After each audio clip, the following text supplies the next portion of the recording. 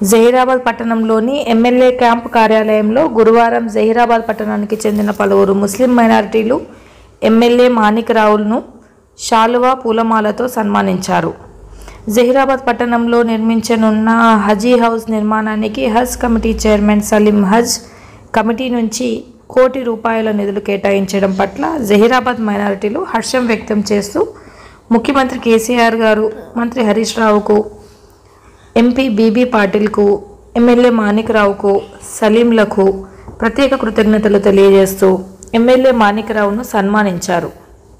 ఈ కార్యక్రమంలో TRS party పట్టణ అధ్యక్షులు సయ్యద్ మొహియుద్దీన్ మైనార్టీ అధ్యక్షులు గొరివయ్య నాయకులు ఫారూక్ అలీ హంజా అక్రమ్ వహీద్ మహమ్మద్ అలీ షేక్ మోహిన్ సిరాజ్ జాకీర్ ముజాఫర్ ముర్తుజా తదితరులు ఉన్నారు మరిన్ని వివరాల కోసం చూస్తూనే ఉండండి టీవీ ఎన్ సెవెన్ న్యూస్ जो है हज बोल के सबको पूरे वर्ल्ड लेवल पे अपन सब जने मानते हैं उनको उसके लिए तो हैदराबाद में एक हज हाउस बोल के जहाँ पे अपन सब मिल के हज हाउस बना रहे हैं हैदराबाद में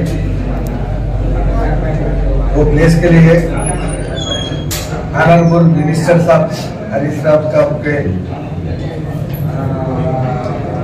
साहब और जो उस दिन वो बात करे उसमें मीटिंग में इसलिए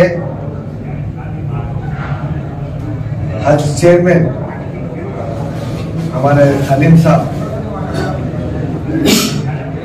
अपने लिए पूरे हैदराबाद हज हाउस के लिए जो एक करोड़ रुपए लिए हैं, उसके लिए पूरे जहराबाद पब्लिक के तरफ़ से उसको हज हाउस का हज चेयरमैन सलीम साहब को और जहराबाद से पूरे लोगों के तरफ़ से ऑनरेबल मिनिस्टर साहब को जहराबाद साहब के बहुत बहुत मुबारक बहुत बोलते, शुक्रिया बोलते। Really it's a great